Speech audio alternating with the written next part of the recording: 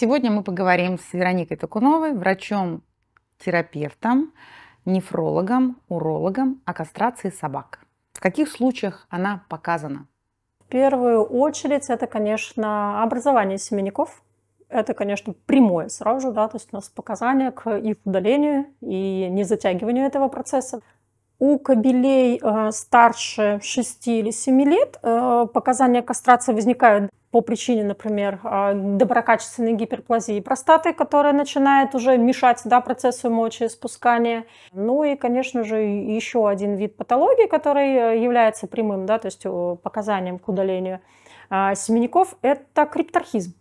Если кастрация не по медицинским показаниям, то по какой причине владельцы все-таки склонны ее провести? А, в большинстве случаев это поведенческие реакции. Это когда речь идет, например, о маленьких собачках, потому что большие, как правило, так себя дома не ведут. А, это мечение территории а, в домашних условиях. Поведение, да, гиперсексуальности, когда животное домогается всех членов семьи и э, мебели, и окружающих вещей – и э, надо скорректировать поведение. Ну или, конечно, да, э, агрессивное поведение по отношению э, к другим самцам. Поэтому здесь, да, становятся вариантами либо химическая кастрация, либо обычная кастрация и прочее, прочее. Ну и кто сказал, что э, во время половой охоты суки не имеют склонности к побегам?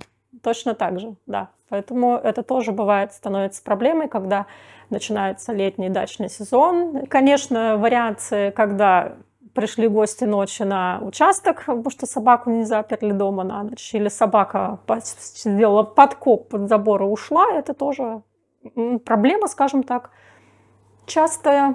Или появляются какие-то проблемы, э, которые являются показаниями, да, то есть для того, чтобы улучшить состояние животного, именно кастрация, да, различные варианты ложных щенностей и прочее, прочее. А можно ли кастрировать суку во время течки?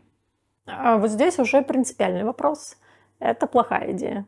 Потому что как раз это не э, даст э, возможности организму находиться в фазе вот этого, да, то есть полового покоя, и может все равно приводить э, к гормональным нарушениям и развитию ложной беременности, если сука стерилизована не в фазе полового покоя. И даже если, например, течка закончилась, а у суки есть ложная беременность, кастрировать ее нужно только после того, как это все разрешится в фазе полного полового покоя.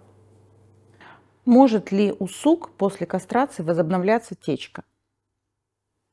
Такие варианты есть. Когда по каким-то причинам во время хирургической операции была повреждена капсула, да, то есть яичника, и часть каких-то фолликулов осталась, даже вот эти вот несколько, да, то есть фолликулов, которые остались, они будут давать э, все классические симптомы сохранения цикла. И такое, к сожалению, до сих пор все равно да, бывает.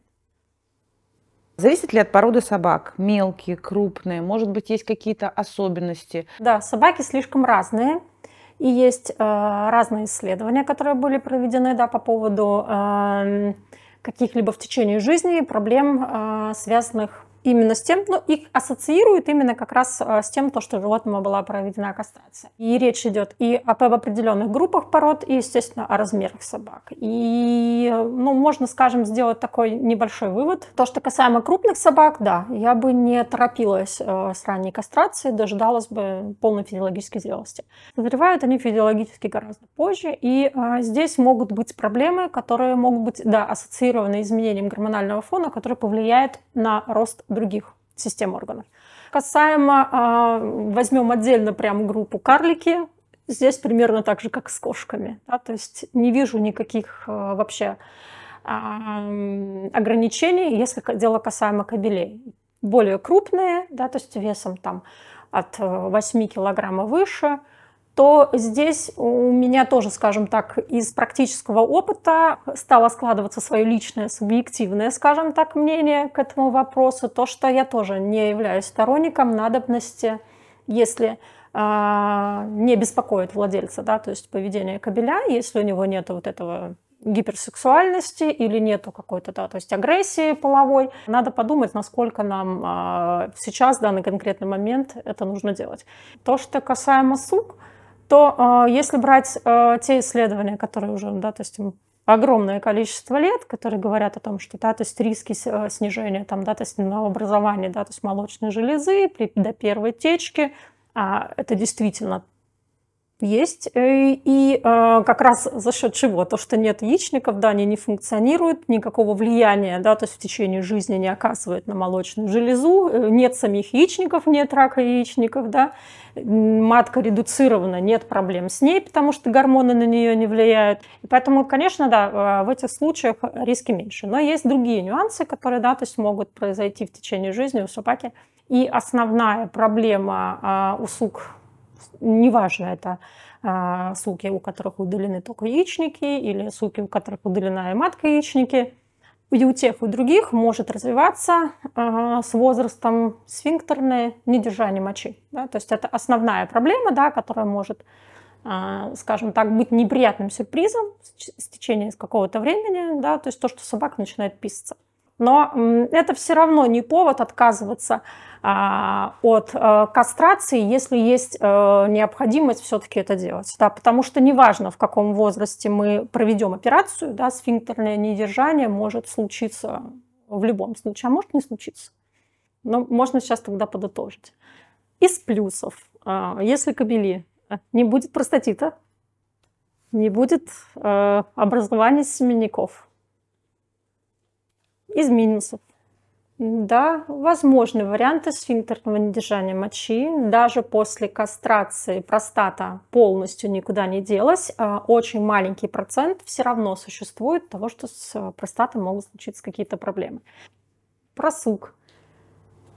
Плюсы не будет, как мы уже поняли, да, то есть образование яичников, образование матки, но опять же с тем же вариантом, да, то как у кобелей с простатой, да, то есть она никуда не исчезает, если мы удалили только яичники. И если, соответственно, что-то не так пошло, конечно, есть малюсенький процент, что с маткой может что-то случиться.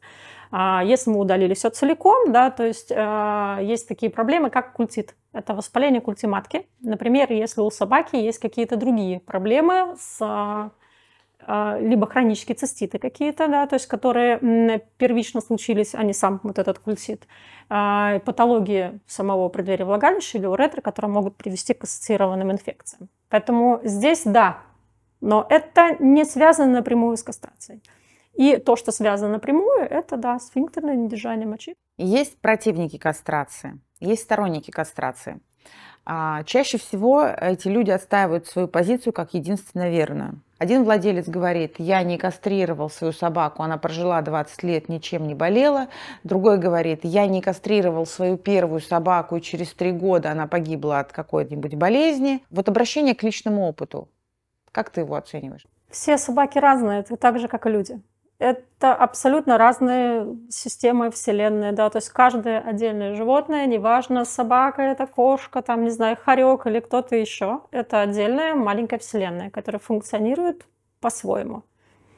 И э, есть собаки, которые, э, даже опираясь на опыт, да, то есть нашего любимого доктора Владимира Валерьевича, который, например, какую-нибудь одну собачку оперировал в течение жизни много раз по поводу каких-нибудь просто жутких там образований в разных местах или только в одном месте, она жила долго, потому что мне повстречался классный доктор, который помог ей жить долго, да, то есть а есть собака, которая не будет ничем болеть, и доктор ни разу в жизни не нужен, она доживет действительно до 20 лет, сохраняя полностью все свои органы на месте, да, то есть без какой-либо там коррекции, да, лечебной или хирургической. Потому что это во многом зависит именно от генетики. Чем больше животное проходит естественный отбор, тем лучше, крепче его иммунитет и э, лучше его генетика, тем больше шансов, конечно, не обращаться к доктору и жить хорошо. И условия э, содержания тоже во многом играют роль. Если оно не может получать нормального полноценного питания, если оно болеет, его не лечат. Это приводит к быстрому изнашиванию да, то есть каких-то э, органов или целых систем, то, конечно, такой пациент долго не проживет. Если пациент, даже имея какое-то хроническое заболевание, да, то есть неважно, о каком органе, опять же, идет речь, а, благодаря просто желанию владельца да, создать максимальное все необходимое, чтобы замедлить прогресс данного заболевания, своевременно обращаться да, то есть за помощью. И э, любая собака может жить долго, а может жить мало, так же как кошка. И в зависимости от нашего желания.